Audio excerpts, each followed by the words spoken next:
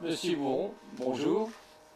Salut. Alors, artiste Artiste, musicien, peintre, Oui. Oui. que de facettes Mais je ne m'en mis l'histoire, la philosophie.